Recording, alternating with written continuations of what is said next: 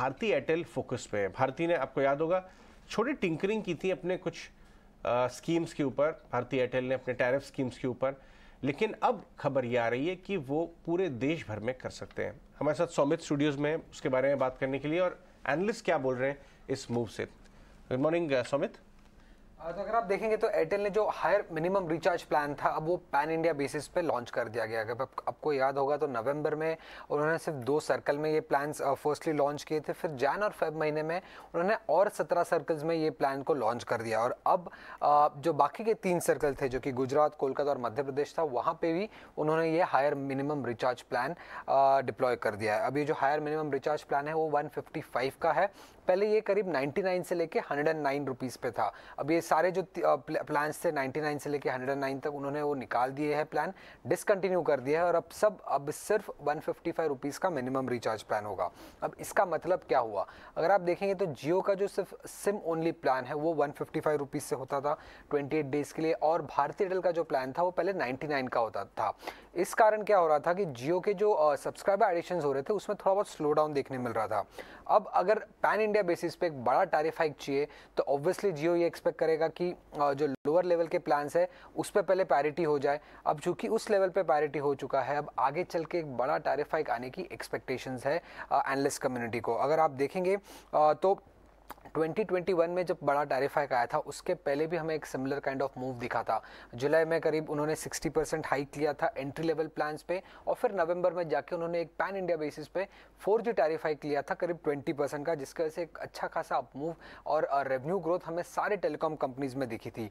अब जो current plan हुआ है, इसके कारण जो आरपू ग्रोथ होगा, वो सिर्फ़ थ्री का एक्सपेक्टेड है, और जो रेवेन्यू एक्रीशन होगा भारतीय एयरटेल के लिए, वो सिर्फ़ टू के आसपास हो सकता है।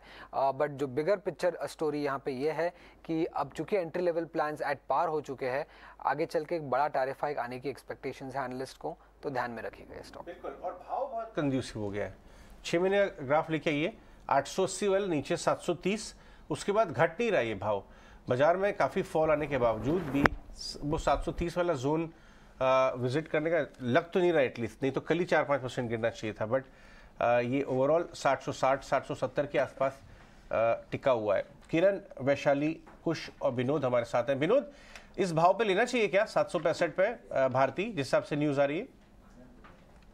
जी हाँ भारतीय एयरटेल की अगर बात करें तो भारतीय एयरटेल में आप आप जितने भी कॉन्कोर्स सुनो मैनेजमेंट की एक ही कमेंट्री होती है, कि उनको इनका जो आरपू है, वो 300 तक का ले जाने का लक्ष्य है आने वाले सालों में, तीन से चार सालों के अंदर में।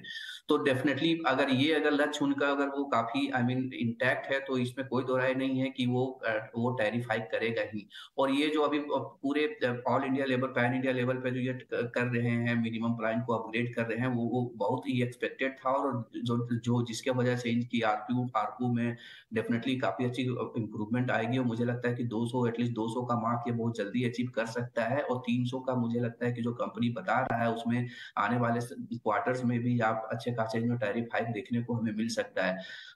तो इसके परफॉर्मेंस में अगर एक चीज़ और ये भी समझे कि जिस हिसाब से इनका जो रोल आउट जो है फाइव जी रोल आउट जो दिसंबर क्वार्टर के एंड तक ग्यारह परसेंट पहुँच गया था, उसमें काफ़ी तेज़ी आई है इन रिसेंट हफ्तों में देखे तो उसका भी एक आपका असर मिलेगा। दूसरा चीज़ है कंपनी काफ़ी एग्रेसिवली जो हाई वैल्यू सेगमेंट होते हैं आई मीन जो तीन सौ से चार सौ यू नो एमबीपीएस सेगमेंट होते हैं, जहाँ पे आपको मार्जिन अच्छे बनते हैं, उसमें भी काफ़ी यू नो फोकस कर रहा है। In addition to you know tariff hike तो मुझे लगता है इन सबको अगर मैं मिला करके देखूँ तो अर्निंग्स काफ़ी बेहतर निकल के आएगा आने वाले क्वार्टर्स में। और डेफिनेटली जिस जिस आज जैसा आपने कहा कि स्टॉक आठ सौ के ऊपर से करेक्ट होकर सात सौ तीस, सात सौ चालीस हो गया तो मुझे लगता है ये एक अच्छा अपॉर्चुनिटी है इन्वेस्टर्स के लिए बात ही एयरटेल का नज़रिया हुआ लेकिन एक बार टेक्निकल नज़र भी ले लेते हैं।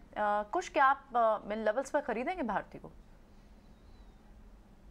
तो प्रियंका अक्यूमुलेट कर सकते हैं। जैसा थोड़ी देर पहले अजय बता रहे थे एंड क्वाइट राइटली कि यू नो जो स्टॉक ने 730 740 के लोस बनाए थे यू नो इतने वीक मार्केट में यू नो वो लोस टेस्ट हो जाने चाहिए थे। लेकिन 7 यू नो 755 760 के जो इसके यू नो सपोर्ट जोन है, उनको ये रिस्पेक्ट करके चल रहा है। तो मेरे हिसाब से this is a good time to accumulate aggressive buying मैं इसलिए नहीं कह रहा हूँ क्योंकि देखिए, अगर हम देखें थोड़े समय से तो स्टॉक एक you know lower high pattern बना रहा है।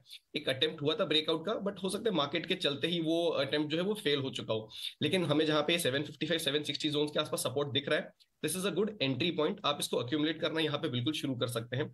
अगर स्टॉक्स इनको रिस्पेक्ट करके यहाँ से एक रिबाउंड देता है तो बहुत ही जल्द आप स्टॉक पे एक्चुअली 790 के लेवल्स देखेंगे एज द फ़र्स्ट टारगेट और जो दूसरा टारगेट है मेरे लिए वो 820 का निकल के आ रहा है। So definitely this is a good time to start accumulating Bharti